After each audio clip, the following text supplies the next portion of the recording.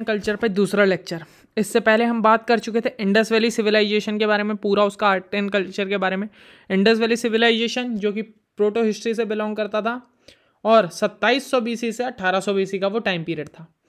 आज है हमारा सेकेंड लेक्चर तो इंडस वैली सिविलाइजेशन के बाद एंशंट हिस्ट्री में बात करूँ तो उसके बाद आता है early Vedic age, later Vedic age Mahajanapadas तो इन तीनों के बारे में तो हमारे पास कोई एविडेंस है नहीं मतलब उतना एविडेंस नहीं है कि उस पर लेक्चर बनाएँ। कोई इतना प्रॉपर एविडेंस भी नहीं है। ठीक है। तो अब उसके बाद आता है मौर्यन आर्ट मौर्यन एम्पायर की बात करी जाए तो सबसे पहले इसको स्टार्ट करने से पहले भाई मौर्यन एम्पायर के बारे में बात करेंगे। तो जो मौर्यन एम्पायर था वो कब से कब तक का पीरियड था? अपना मौर्यन एम्पायर जो पीरियड था, वो था तीन सौ इक्कीस बीसी से। तीन सौ इक्कीस बीसी से। कब तक का पीरियड था? तीन सौ इक्कीस से लेकर एक सौ अस्सी बीसी तक का, ठीक है? ठीक है? लिख दिया है। और इसके जो फ़ेमस किंग्स थे, वो कौन थे? वो थे चंद्रगुप्त मौर्य। ठीक है, चंद्रगुप्त मौर्य थे, बिंदुसार थे, और लिखा नहीं जाता है मुझसे प्रॉपर तो मैं पहले ही कह दे रहा हूँ, बोल रहा हूँ, उस पर सुन लेना। और अशोका थे। ठीक है, ये तीन किंग किंग्स थे, इन्हीं के कारण इसका आर्ट एंड कल्चर भी फ़ेमस हुआ। ठीक है, और अब हल्का सा मौर्यन एम्पायर के बारे में बात कर लेते हैं। इसमें तीन ग्रेट किंग्स थे चंद्रगुप्त मौर्य, बिंदुसार और अशोका।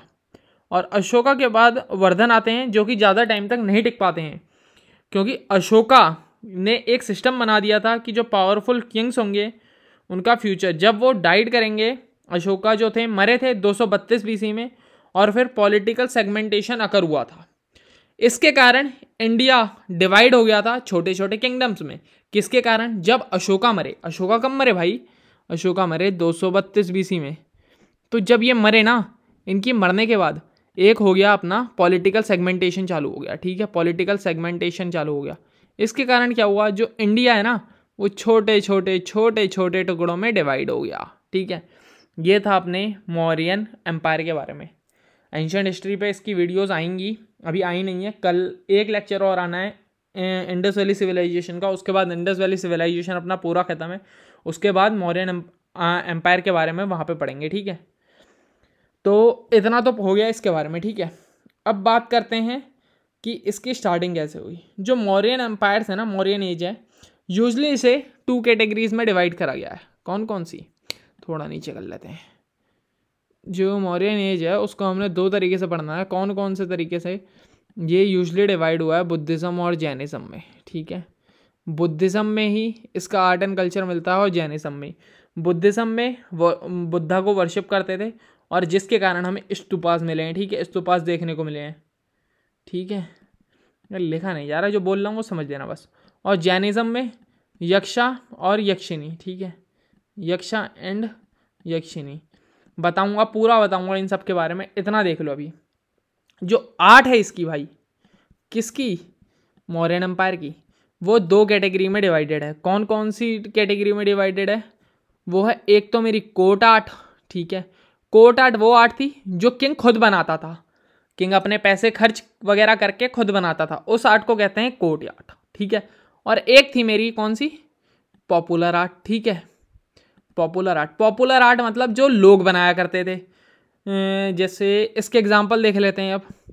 कोट आर्ट के एग्ज़ाम्पल की बात करूँ तो पैलेसेस हो गए। भाई, राजा अपना घर खुद ही तो बनाएगा और सबसे पहले घर ही बनाएगा अपना, पैलेसेस बनाएगा, पिलर्स बनाएगा, ठीक है, और स्तूपास बनाएगा। स्तूपास, बहुत सारे स्तूपास बनाए हैं अशोका ने, ठीक है, और पॉपुलर आर्ट की बात करी जाए तो केव्स हो गई अपनी, पोट्री हो गई और स्कल्पचर्स हो गए, ठीक है। जो केव आर्ट है ना भाई, वो कोट आर्ट भी हो सकती है हमारी, वो दोनों मिलके बना सकते हैं। बस एक चीज़ ये रही, केव आर्ट कौन कौन कोट आर्ट कौन कौन सी हो गई जो कि किंग बनाएगा और पॉपुलर आर्ट वो हो गई जो कि लोग बनाएँगे। पॉपुलर आर्ट को एक और नाम से जानते थे, जिसे कहते हैं फोक आर्ट ठीक है? तो इतना पढ़ लिया हमने इसका इंट्रो के बारे में। तो अब बात करते हैं फिर ऊपर से मैंने नोट्स वगैरह तो सारे लिख लिए थे। बेसिक इन्फॉर्मेशन ये थी इसकी कि मौर्यन पीरियड कब से स्टार्ट हुआ, उसके बारे में बता दिया, इसके फ़ेमस किंग्स के बारे में बता दिया और इसके बारे में बता दिया।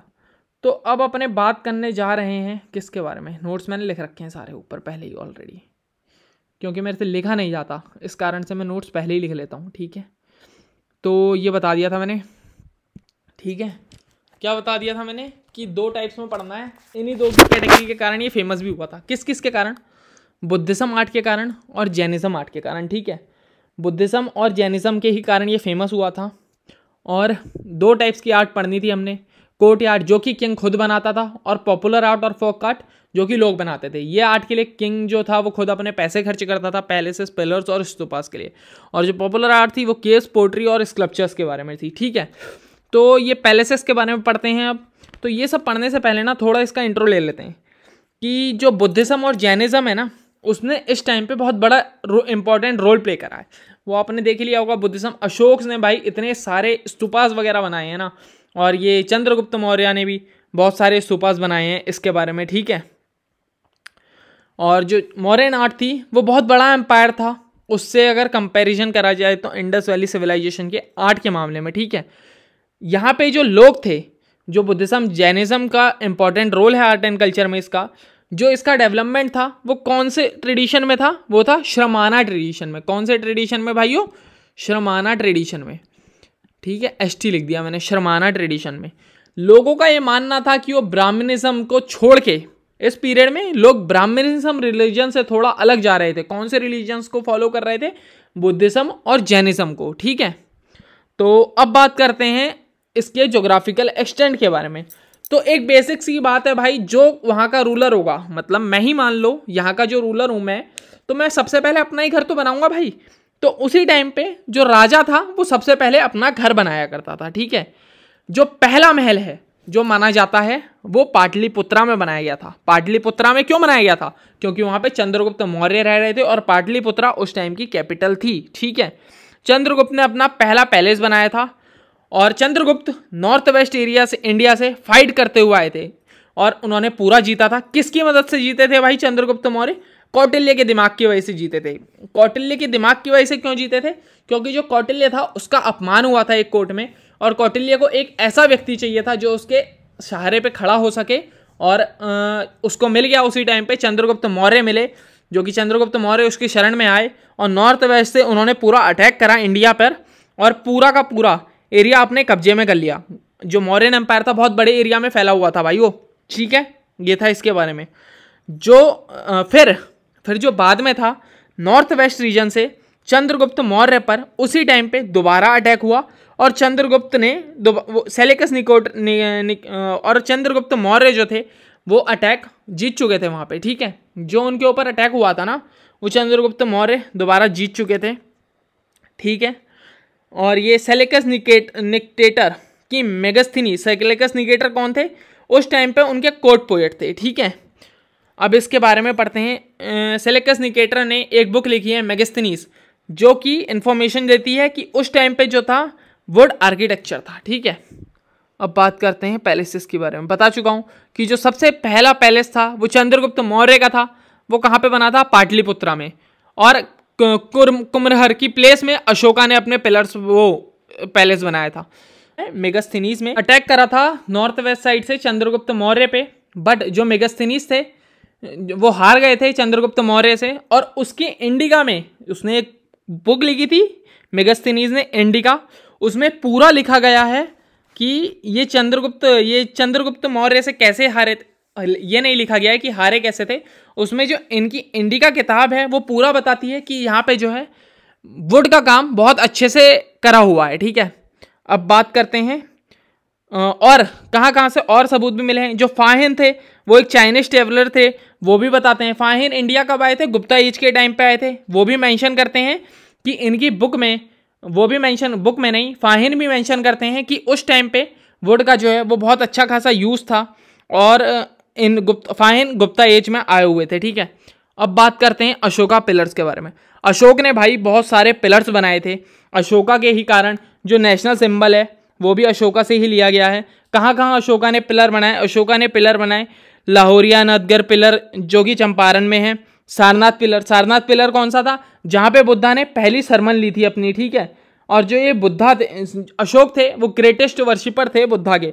आज बहुत ध्यानपूर्वक वो फॉलो करते थे बुद्धा को। अशोका पिलर, कई लोगों ने कहा कि जो अशोकन पिलर थे, वो कॉपी थे। कहाँ से कॉपी थे?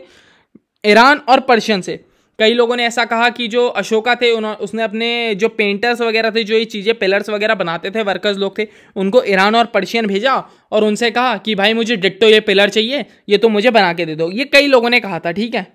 और अशोका ने धम्मा चक्र परिवर्तन भी दिया था। जब अशोका, बुद्धा ने पहली सरमन ली थी, वहाँ पर अशोका ने ये भी दिया हुआ था, ठीक है? अशोका के सिंबल तीन पार्ट्स में डिवाइडेड थे। हाई स्किल दिखाते हैं वर्कर की, कि कितने अच्छे तरीके से काम करा है। जो थे, ये तीन टाइप में डिवाइडेड थे। शाफ्ट क्या होता है? शाफ्ट जो सबसे नीचे का हिस्सा होता है, ठीक है? शाफ्ट ये डंडी वाला हिस्सा। फिर जो कैपिटल फिर जो उस पर बना हुआ था, ये जो उससे ऊपर का हल्का सा एरिया का हिस्सा जो था, वो कैपिटल था। इन्वर्टेड बल शेप में था कि उल्टे बैल को कर दो, ठीक है? इस टाइप से वो जो बना हुआ था, वो हिस्सा था कैपिटल फिर एबेकस था। फिर एनिमल की मूर्ति बनी हुई थी अशोकन पे, वो जो अशोका का, वो जो नेशनल सिंबल है, उस पर देखा होगा आपने लायन बना हुआ है। कई सारे एनिमल्स बनाते थे, जैसे कि किसी में लॉयन था, किसी में बुल था, किसी में हॉर्स था और किसी में एलिफेंट था। और टॉप पे नाम लिखा रहता था, अशोका का नाम लिखा हुआ है, जो बहुत फ़ेमस पिलर है अशोका का, वो अलाहाबाद पिलर है, जो कि लोकेटेड है अलाहाबाद में, ठीक है? और जो कौन कौन से मटेरियल यूज़ करते थे अपने पिलर्स में, ये यूज़ करते थे रेड सैंडस्टोन का या क्रीम कलर सैंडस्टोन का। इसका साइज़ क्या होता था? भाई, बहुत बड़ा साइज़ होता था, ये दो जगह ही बनाए जाते थे, ऐसी मान्यता है? एक तो मथुरा में बनाया जाता था ये, और एक और जगह में बनाया जाता था ये। उस जगह का नाम याद नहीं आ रहा मुझे। एक मथुरा थी और एक और जगह थी, ठीक है? ये दो ही जगह बनाए जाते थे ये पिलर। और वहाँ से ट्रैवल होते थे ये जगह जगह में जहाँ पे इन्होंने लगना है। ये लिखा हुआ है सॉरी मैंने। मथुरा और चाबाद में बनाए जाते थे, ठीक है? अब स्तूपास की बात करें तो जो स्तूपास थे नाइन स्तूपास बुल्ट हुए हैं जहाँ पे डेथ हुई है बुद्धा की। बुद्धा सिद्धार्थ गौतम की, ठीक है? और ये वो नाइन प्लेसेस हैं, जहाँ पे ये पिलर्स हैं स्तूपास हैं सॉरी स्तूपास क्या होते थे भाई? स्तूपास थे, जो बुद्धा थे, उन्होंने कहा था, लोग उनकी पूजा करने लग गए थे बुद्धा लोगों की, ठीक है? तो जब अशोका की, बुद्धा की डेथ हुई, बुद्धा ने कहा कि जो मेरी एशेज होंगी, जब मैं मर जाऊँ, जो उसके टुकड़े होंगे, उन सबको एक बॉक्स के अंदर रखना और एक माउंट बना देना और उसकी तुम लोग परिक्रमा करना, ठीक है? इससे ये स्तूपा जनरेट हुए। ये स्तूपा जिसका नाम ऐसे नहीं था इसको पाली में, पाली लैंग्वेज में थुप्पा कहा और थुप्पा से इसका नाम धीरे धीरे धीरे धीरे आगे वाले टाइम में स्तूपास पड़ गया, ठीक है? तो ऐसे ये स्तूपास बने। स्तूपास में भाई चार मेन डोर चार एंट्री के गेट होते थे और हरनिका टीचिंग्स वगैरह भी सिखाई गई थी इस टाइम पे लोगों को। यही था, बुद्धा, दम्मा, सिंगा। और फिर माना जाता था जी जो अशोक थे भाई, अशोक थे, उन्होंने एटी फोर थाउज़ेंड स्तूपास बनाए हुए थे। सांची स्तूपा बहुत फ़ेमस स्तूपा है जो कि यूनेस्को में है। सारनाथ स्तूपा भी था। केव आर्किटेक्चर भी बहुत फ़ेमस था। केव आर्किटेक्चर भी बुद्धा एंड जैन वर्क था। चैतन्य, विहारा, बारबर एंड नागार्जुन केव जो हैं, ये भी बहुत फ़ेमस केव्स हैं। ठीक है? पढ़ लिया होगा इतना। अरे यार, ये अंजुम क्यों जाता है? और जो जो ये बारबर एंड नागार्जुन केव थी ना, ये दशरात ने बनाई थी, जो कि ग्रैंड सन थे अशोका के।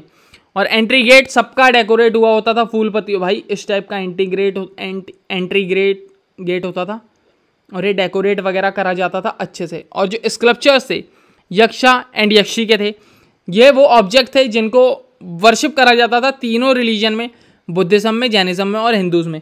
जो अर्लीस्ट बख्शी था, वो फाउंड कहाँ हुआ था? शिल्पाधिकार में। और ये एक तमिल टेक्स्ट है। सिमिलरली जो सारे जैन तीर्थंकारस थे वो एसोसिएट थे यक्षी से पोट्री पोट्री के बारे में हम पहले ही पढ़ चुके हैं कि जो पोट्री का तो इंडस वैली सिविलाइजेशन में भी था। इंडस वैली सिविलाइजेशन में ब्लैक और रेड कलर की पोट्री मिली है। इस टाइम पे भी ब्लैक और इस टाइम पे भी पॉलिश पोट्री मिली। पॉलिश थे इनके भाई जो स्तूपास वगैरह जो इनका वो था सिंबल वगैरह पिलर्स वगैरह वो भी सब पॉलिश्ड थे। सारी चीज़ें अशो, अशोका मौर्यन एम्पायर में सारी चीज़ें पॉलिश थी बढ़िया तरीके से। और जो पोट्री थी ग्लॉक्सी पॉलिश ग्लॉक्सी पॉलिश हुआ करती थी उस टाइम पे। वो पॉलिश करती है अच्छे से। लग्जरी आइटम से हाईएस्ट लेवल था पोट्री का, ठीक है। इंडस वैली सिविलाइजेशन में उतना हाईएस्ट लेवल नहीं था पोट्री का। बट इस टाइम पे जो पोट्री थी, वो बहुत बड़े एरिया में अच्छे से जो पॉलिश थी अच्छा लेवल था उनका। मतलब सबसे यूनिक जो लग्जरी पोइट्री देखी गई हैं, वो मौर्य एम्पायर में ही देखी गई हैं, ठीक है। ये था इसके बारे में पूरा। इस पे पूरा पढ़ चुके हैं हम। इससे पहले इंडस वैली सिविलाइजेशन पे ही पढ़ा था। मॉरन एम्पायर पे ही पूरा पढ़ चुके हैं। बुद्धा एंड जैनिसम जो थे main role Buddha and Jainisms का ही प्ले हुआ इसमें। अब इसमें आप क्या क्या पढ़ सकते हैं देखिए। इसमें आपको मैं बता दूँ क्या क्या चीज़ें याद करने की लायक हैं। इसमें आप सबसे पहले स्तूपास के बारे में पढ़ सकते हैं, ठीक है? और आर्ट एंड कल्चर में स्तूपास के बारे में पढ़ सकते हैं। और ये उसके बारे में पढ़ सकते हैं, किसके बारे में, पिलर्स के बारे में। अशोक के पिलर जो थे वो बहुत फ़ेमस थे। नेशनल सिंबल के बारे में पढ़ सकते हैं कि अशोक ने नेशनल सिंबल्स भी दिया। जो मेन रोल था ना, वो इन तीनों ही किंग का था। कौन कौन से किंग एक तो चंद्रगुप्त मौर्य थे, बिंदुसार थे और अशोका थे, ठीक है? यही तीन किंग का मेन रोल था इसके आर्ट एंड कल्चर में। और जब ना अशोका की डेथ हुई, अशोका की डेथ के बाद इसकी पूरी वार्ड भी लग गई थी इस पीरियड की। अशोका की डेथ कब हुई थी भाई? टू थर्टी टू बी में अशोका की डेथ हुई और उस टाइम पे पॉलिटिकल सेगमेंटेशन हुए और इसी के कारण जो इंडिया है, वो डिवाइडेड हो गया स्मॉल स्मॉल किंगडम्स में। इसके बाद मौर्यन एम्पायर के बाद अपना पोस्ट मौर्यन एम्पायर था। पोस्ट मौर्यन एम्पायर 200 हंड्रेड से 300 हंड्रेड तक टिका। इस एम्पायर के बाद आता है अपना गुप्ता किंगडम गुप्ता किंगडम भाई बहुत खतरनाक किंगडम था। पूरे गुप्ता ने पूरा इंडिया जो मिड का इंडिया है, वो पूरा इनके राज से समाया हुआ था, ठीक है? गुप्ता किंगडम में मज़ा आएगा आप सबको पढ़ने में भी। तो इस लेक्चर को यहीं पर करते हैं एंड होप अच्छा होगा, आपको अच्छे से समझ आएगा। भाई, थोड़ा बहुत तो अच्छे समझ आएगा आपको। और जो जो चैनल पे नए आए हैं लाइक करो सब्सक्राइब करो शेयर करो वीडियो को। जो यहीं पे करते हैं इस लेक्चर को एंड बाय